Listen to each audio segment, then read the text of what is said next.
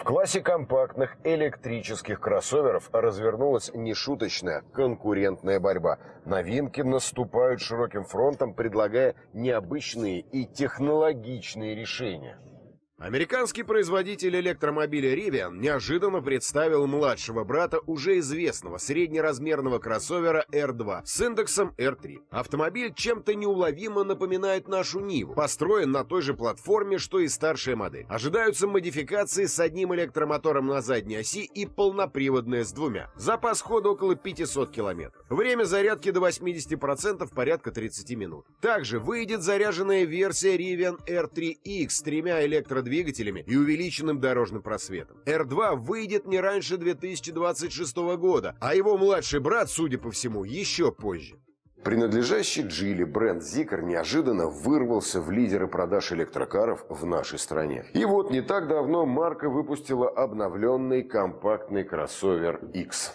Внешние изменения практически незаметны, зато теперь уже в базе предлагается интеллектуальная система помощи водителю с адаптивным круиз-контролем, мониторинг мертвых зон. Она даже предупредит, если вы окажетесь в слепой зоне большегруза. Заднеприводная версия оснащается электромотором мощностью 272 лошадиные силы и обеспечивает запас хода 560 километров. Есть и полноприводная двухмоторная модификация на 428 лошадиных сил, запас хода 500 километров. Разгон до сотни за 3,7 секунды. Обновленный Zikr X вскоре пожалует и в нашу страну.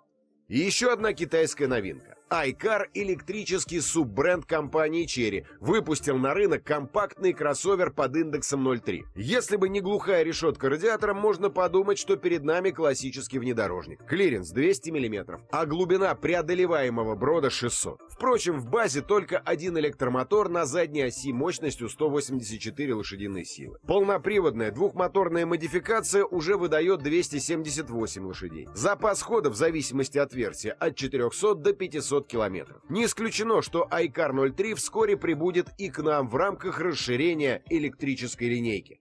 Кроме того, к началу лета в российских шоурумах должен появиться электрический компактный кроссовер Амода E5. Так что отечественным производителям электрокаров придется потесниться.